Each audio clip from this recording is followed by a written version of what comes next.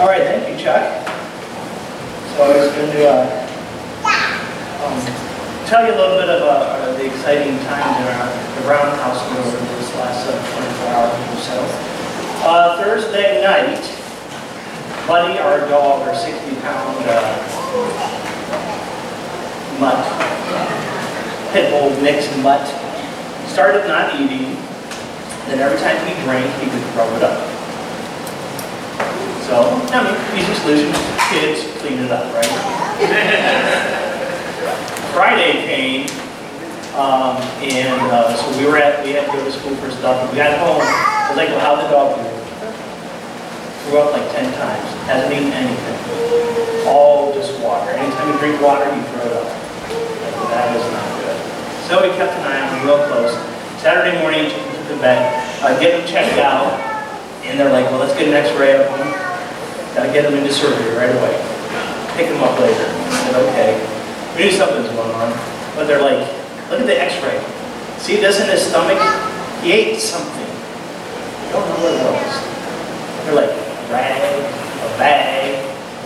I think just anything I with those two words. Uh, but like, look, there's some stuff here. He ate something there. Like, but, and he has eaten stuff before. He's just small children and stuff like that, you know. He eats anything. And um, so uh, they called me about 3.30. I was like, okay, I'll come over. And um, it's funny because uh, this is a Sunland, the better of Sunland. And he said, come around to the back because we'll be closed. But uh, So I came around to the back and there are two white doors and there's two small windows into their operating room. And one of them was open. And the doctor's just like hanging out. Oh, hey, how you doing? Like, okay, is this how we do it here, I guess? it's the strangest thing. So I just walked up and like, doing here? Got my dog at the table, all four legs straight up, tongue hanging out. They're like stitching them up. You want to do it? Like, I'm good. Really, I'm good. And uh, then they're like, come, come around, come in here, like in the operating room. This is not like TV at all, folks. I mean, it, I didn't scrub down or anything. They're like, come in.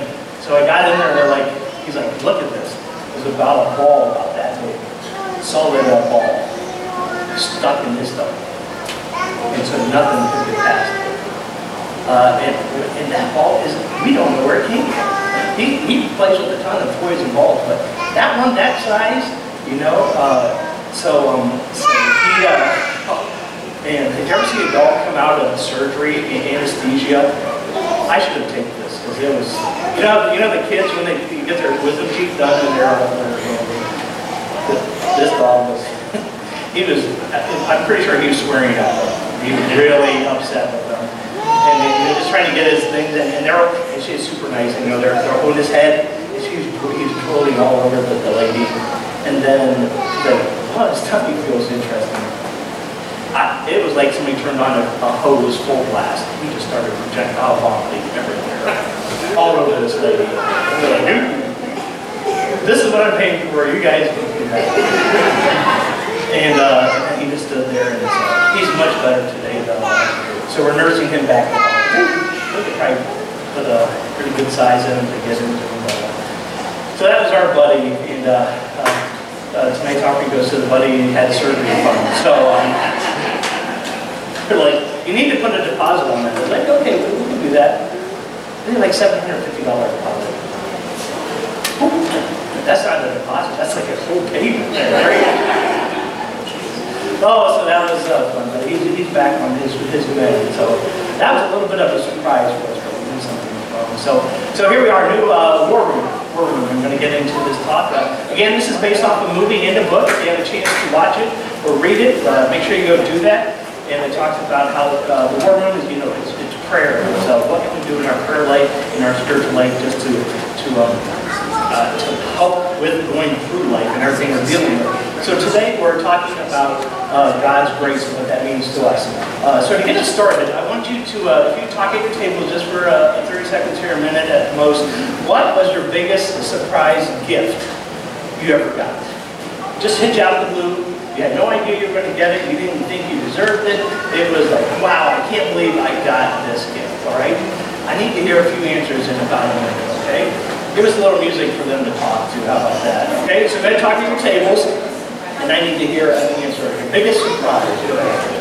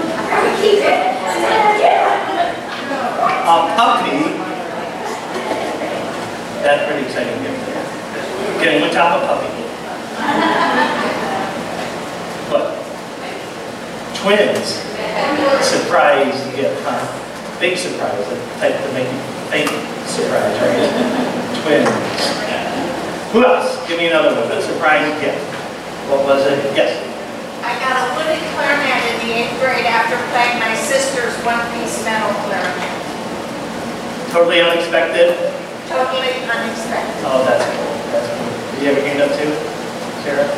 No? All right, anybody else?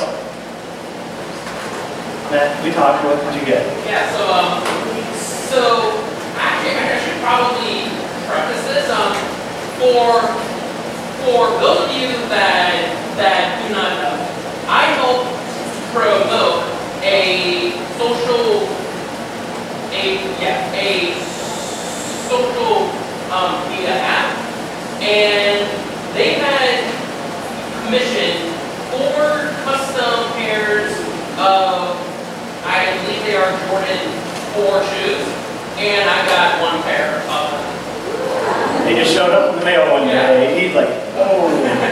Took pictures, started posting all over Yeah. Facebook, biggest surprise ever. Nice. Yeah. Does it have to be a good surprise? Well, Good to see you. Yeah, let- yeah, let's keep it on the good side tonight. Is yours fitting there? Well, it was funny.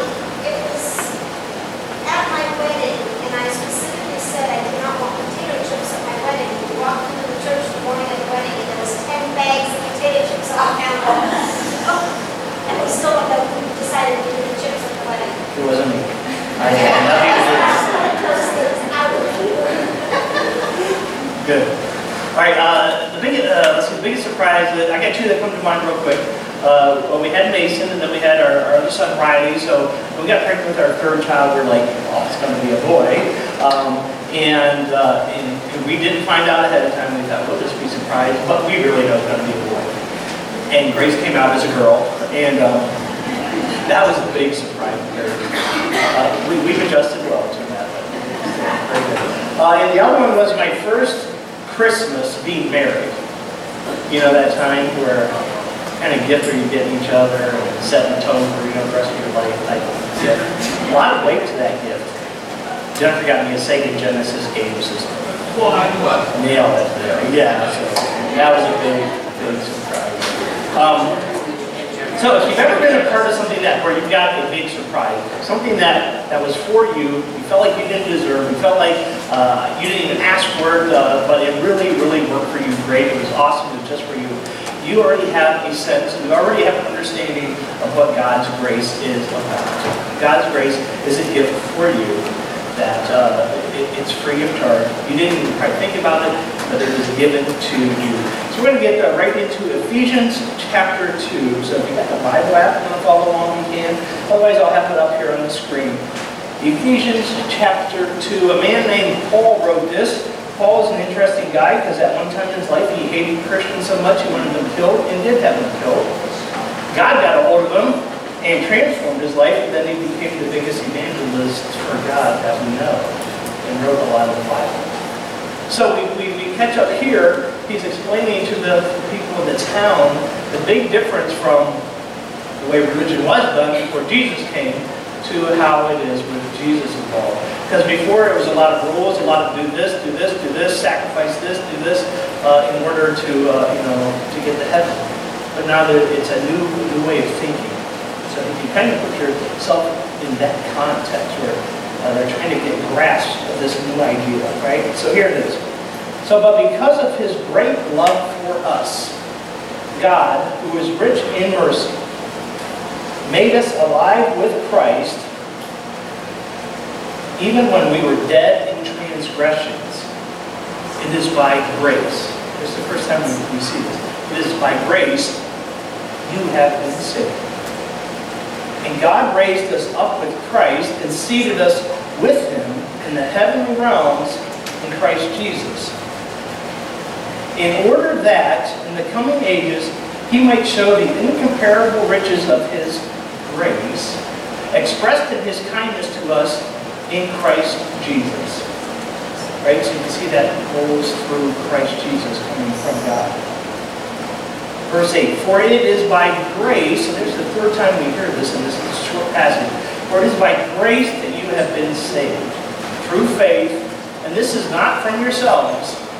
It is the gift of God, not by works, so that no one can boast. Now back in verse 8, for it is by grace you have been saved. It is a gift of God. A gift of God. So he, he, he's getting us all out of the picture. There's nothing we can do ourselves, friends.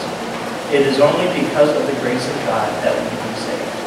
Right? No matter what you're trying to do, no matter where you're going, with, it is not going to happen unless it comes from God. And that is the way we can be saved. And then and he kind of says that again in verse 9. He says, so it's not by works, it's not by doing stuff, so that no one can boast. So he removes all of that human element to say, God is the one that's provided us. So grace, if we were to define it, is, is a gift that we don't deserve. So as God created the world, created humans, humans started screwing up big time. Humans continue to screw up big time. All you have to do is watch the news every night. Right, friends? Right? So God said, I love this world so much. I love you so much. I want to save. I'm going to send my son as a gift that we don't deserve in their place. So that's what grace is. Now, the United Methodist Church, which we are part of, was founded off the ideas of a man named John Wesley. Uh, here's what John looks like. Uh, John uh, was a, you probably know CD guy, very, uh, very, um, not was a very, uh, what's the word I'm looking for? Methodical, yeah, thank you, very methodical. And uh, so he actually had these small groups meet once a week. And if you were in his small group or you followed one of his small groups, he had very strict rules. You're late, don't show up. You're out of the group. One time. That was it. You're going to pray for each other. You're going to confess your sins to each other. It was, it was hardcore stuff. But his, ideas spread like wildfire. It was just what, what everyone was looking for. So all these small groups uh, sprouted up everywhere. Actually, the United Methodist Church wasn't, John Wesley did not found the United Methodist Church. It was found off, based off of his ideas and his methods. So it's called the Methodist Church. Because uh, uh, everyone watching from the outside is like, wow, those, those crazy Methodists.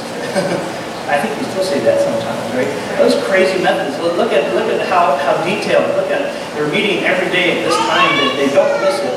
Um, so kind of one of the foundational things he talks about was grace. He talked about it in three ways. I want to share this with you right now. Uh, it's called prevenient grace, justifying grace, and sanctifying grace. Those are the three basic foundations of, of, of the United Methodist Church that uh, we got from John uh, Wesley. So the first one, this prevenient grace. This is God's active presence in our lives. God's active presence in our lives. Whether you know God at the time or not, is His active presence in your life. When we do baptisms of, of babies and of infants, we talk about prevenient grace. We, we, we talk and parents say, hey, you know what?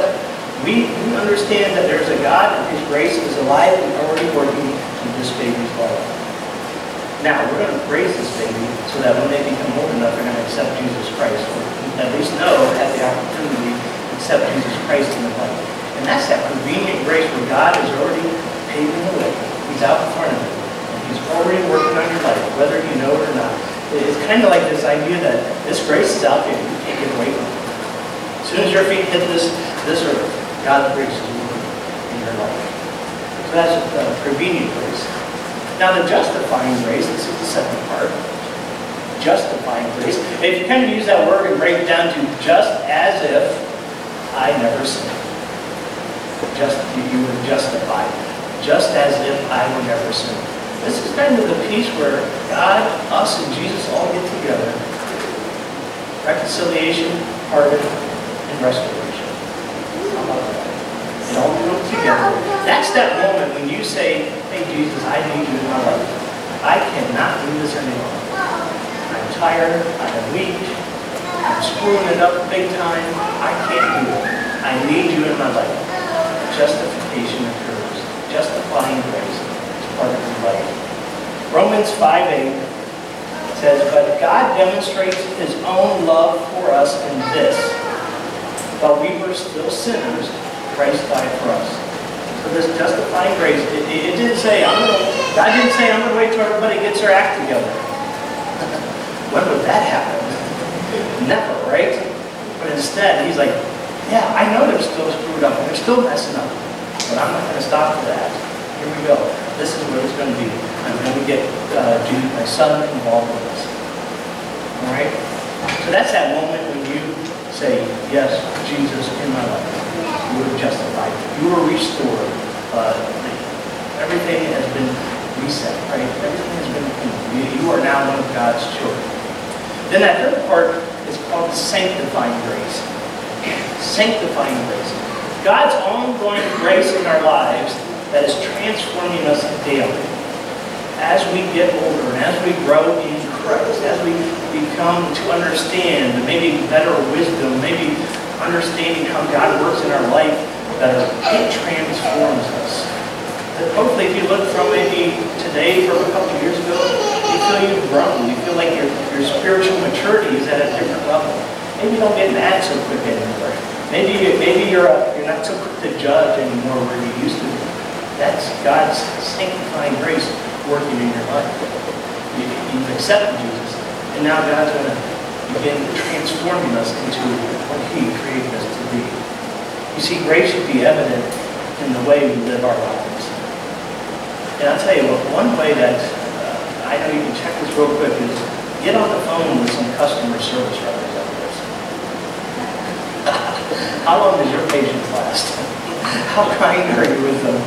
I, I was trying, I was working with something with Mason at college, and uh, my cell phone kept dropping out. But of course, it wasn't my fault. was It my cell phone. It was. I was like, oh, they hung up from me again, and you know, you just want to pick it up and like, I don't know what's going to play. No, we offer grace and say, oh, sorry about that. Where were we? And we keep on going. So it's real easy to, to offer grace. So uh, Colossians 3:13, some grace life, if you, if you were to put it like that. Grace, forgive as the Lord forgave you. Again, we go back to we were all sinners when Jesus decided, uh, God decided to, to send His Son and forgive us.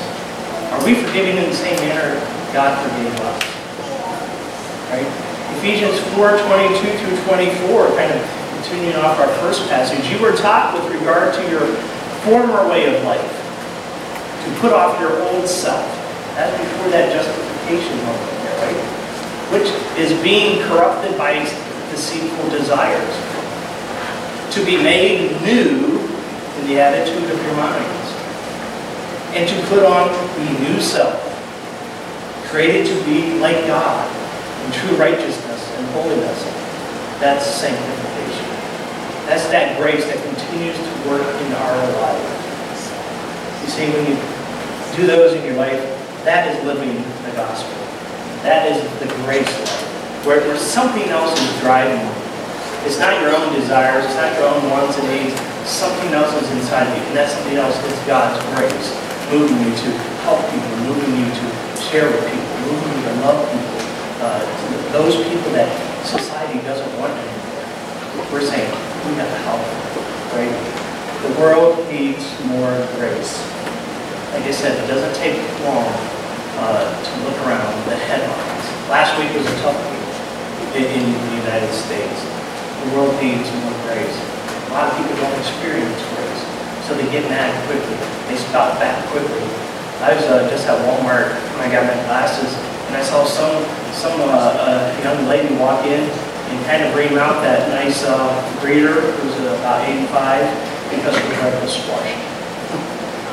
You know, and uh, and I saw him take. He was offering grace to her, and I can see that. You know, but the world needs more grace. So when they don't experience grace, they don't act. So we, you have grace in your life. You can offer. So how did your life offer grace? Just a reflection here. For your family, for your friends, for your work time. How are you offering grace? How is it in your community? And if you don't believe you can change your community by your actions, I'm telling you you can. Because it will spread like wildfire. Just like John Wesley, one guy started something and it spread like wildfire. People will see it and people want it. Going on your life? Why's, uh, you know, why are you so calm? Well, where are you getting that from? I need that. That's God's grace working in your life. And it's probably already been working in the life of the person who's coming to ask you. Something that has a nudge to it, right? All right, so I got a clip here to show you from this movie, The War Room. Now, and, in this clip, there's an older lady named Miss Clara. She's kind of been mentoring and, get, and, and connecting, growing this relationship with a, a young lady named Elizabeth. And in this scene, uh, kind of dealing with some marriage issues, and Elizabeth is really upset, and Miss Clara is guiding her and giving her some direction. Uh, so take a look at this.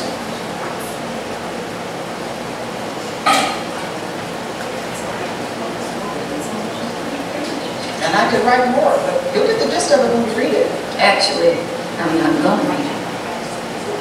My question to you is this. In light of all these wrongs, does God still love Tom? We both know he does. Do you? Now, Miss Clara, you're meddling. There's love in my heart for Tom, but it's just buried under a lot of frustration. So he needs grace. Grace. I don't know that he deserves grace. Do you deserve? Miss Clara, you have a habit of backing me up in a corner and making me squirm. I felt the same way. But the question still remains, do you deserve grace? The Bible says that no one is righteous, not even one. For we have all sinned. So really none of us deserve grace. But we all still want God's forgiveness. Elizabeth, it comes down to this. Jesus shed his blood on the cross. He died for you, even when you did not deserve it. And he rose from the grave and offers forgiveness and salvation for anyone who turns to him. But the Bible also says that we can't ask him to forgive us while refusing to forgive us. Know, Miss Clara, that's just so hard to do. Yes, it is. Yes, it is.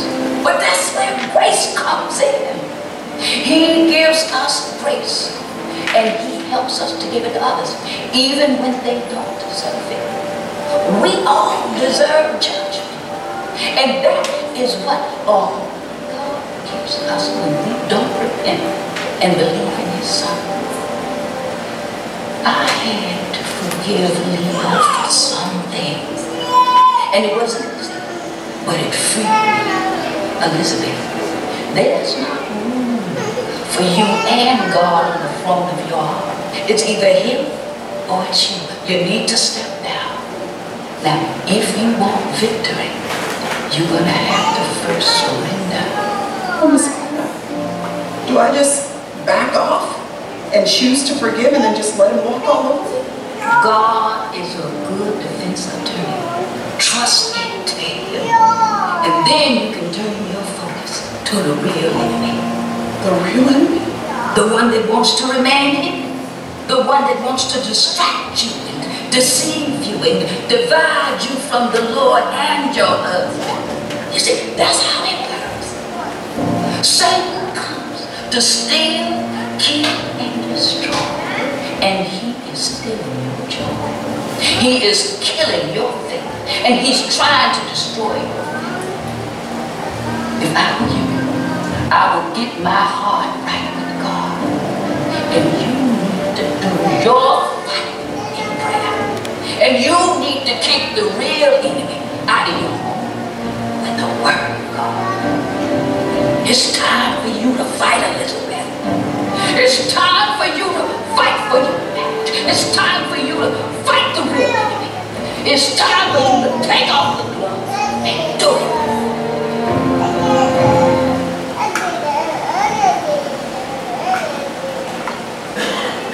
This Claire is getting replaced. Good message, Emma. God's grace was, when we didn't know, is, and always will be. It's available. You just gotta invite it into your heart. want gonna get you into a time of communion. So my uh, helper would come up here. And, and, this time of communion is remembering exactly what this is all about. What this grace is and, and who it's offered to. The answer is everyone, anytime. If you're looking somewhere else to fill your life, one place you're gonna find it is through God's grace. And this time of communion is remembering what that's about. Remembering that God said while we were still sinners, He decided to send His Son, restore us, complete us, and make us whole again. And remember that. So Jesus was sitting with his disciples, his best friends, and, and he gave thanks and he broke that bread in front of them and he said, This is my body, and it's been broken just for you. Each and every time you eat, that you do remember what I've done. Next, he gave thanks and he held up the cup and he said, This is my blood that's been poured out for you. Each and every time you drink this, would you remember what I've done for you? I've been a part of your life, and I want to be part of your life. You're just going to keep after us.